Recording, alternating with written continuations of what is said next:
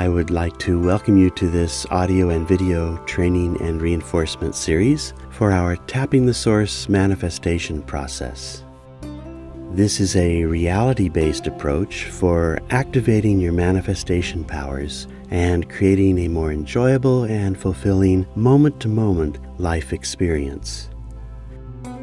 At the heart of this program is the understanding that there does exist a universal manifestation power, a pervading, non physical, creative consciousness that willingly and, in fact, eagerly chooses to inflow when invited into our personal consciousness.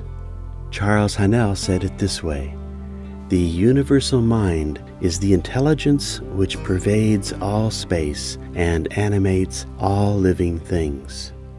Scientists now mostly agree that there must exist multiple non physical dimensions beyond the three dimensions of the material world.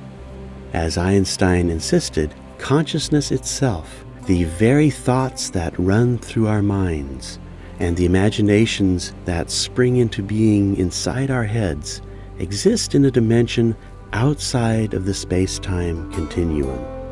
This dimension represents the intelligent, energetic glue that holds the universe together, and through the transcendent power of intuitive thought, continues to animate and instruct and inspire our own creative thoughts. It's this direct link between our Creator and our own individual creative minds that lies at the heart of this program. If you deny your own ability to tap the power of your Creator, you in essence don't have that power.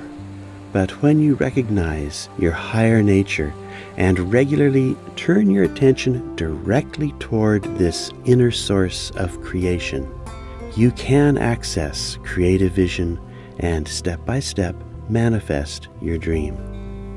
Again, in the words of Charles Haanel, the universal mind is the live wire.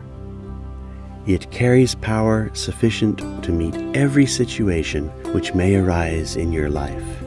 When your individual mind touches the universal mind, it receives all the power it requires. Your challenge in this program is to allow your individual mind to regularly touch the universal mind. That's where your power and insight ultimately come from to create that world which you truly desire.